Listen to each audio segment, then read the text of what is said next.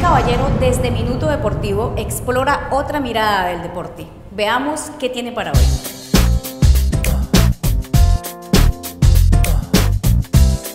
Hola de nuevo a este espacio en el que el deporte es sinónimo de rebeldía. Hace pocos días en la ciudad de Bogotá se llevó a cabo una jornada ciclística por la paz en la que jóvenes recorrieron 118 kilómetros. Les preguntamos cómo nació la iniciativa y cuál es el mensaje para el país. Esto fue lo que nos respondieron. Como jóvenes de Marcha Patriótica, entendemos el deporte como una herramienta adecuada para la construcción de paz. En ese sentido, surge la iniciativa de recorrer 118 kilómetros para la paz. Un kilómetro por cada compañero que ha sido asesinado en nuestro movimiento político y social Marcha Patriótica. ¿sí?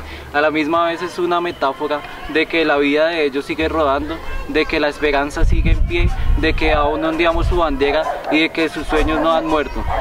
Como diría Albert Einstein, la vida es como montar en bicicleta. Para mantener el equilibrio hay que seguir pedaleando.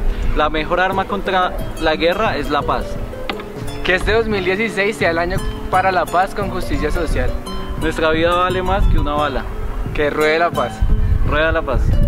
Rueda la paz. Rueda la paz. Rueda la paz. Rueda la paz. Rueda la paz.